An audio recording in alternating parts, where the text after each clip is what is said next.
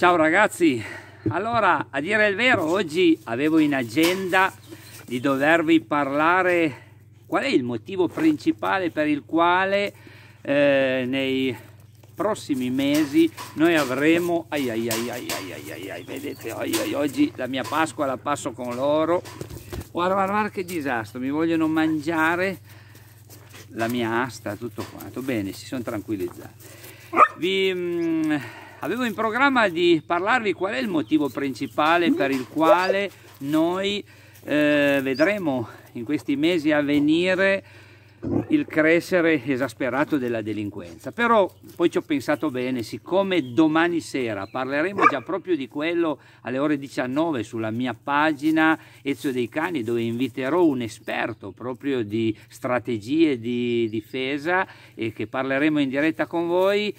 Oggi vi voglio solo dire, eh, forse potrebbe essere conveniente per voi iniziare a ragionare, qualora abbiate una casa singola con giardino, di non adottare solo più cani perché vi piacciono gli animali, perché vi piace il loro affetto, perché... Eh, i cani ci riempiono la vita, ma adottarli anche perché possano, dico, perlomeno contribuire a farci vivere più al sicuro e farci vivere più sereni, che, perché poi in realtà con i miei cani da guardia io ho cresciuto le mie figlie e se voi seguite i miei filmati vedete di, con, guardate, con quante leccate loro ci coprono tutta la giornata, quindi vi dico solo quello, come riflessione, come riflessione pasquale, guarda, guarda, sì, sì, sì, troppo belli tutti e due. Come riflessione pasquale, siccome andremo in un periodo che potremo poi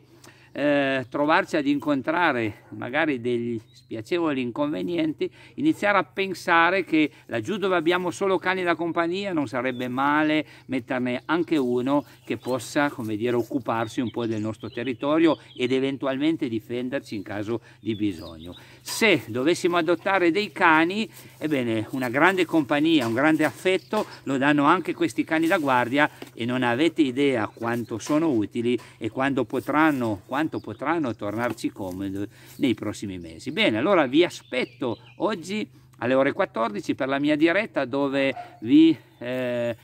spiegherò il perché non bisogna mai picchiare i cani, neanche piano, neanche solo col giornale, neanche una scolacciatina, neanche solamente così una piccola sberla, come tanti vi hanno sempre insegnato. Ma non solo, non bisogna neanche mai sgridarli. Io non ho mai sgridato i cani una sola volta nella mia vita. E c'è un motivo ben preciso, ma ve lo spiegherò oggi alle ore 14 su questa pagina Ezio dei Cani, eh, Cani da Guardia e Sicurezza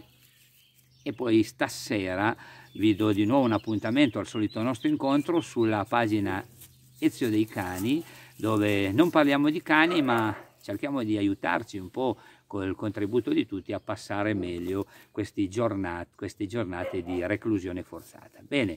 eh, che arrivino a tutti voi i miei più eh, spontanei e mm, come dire, sereni auguri di buona Pasqua a tutti. A presto, ciao!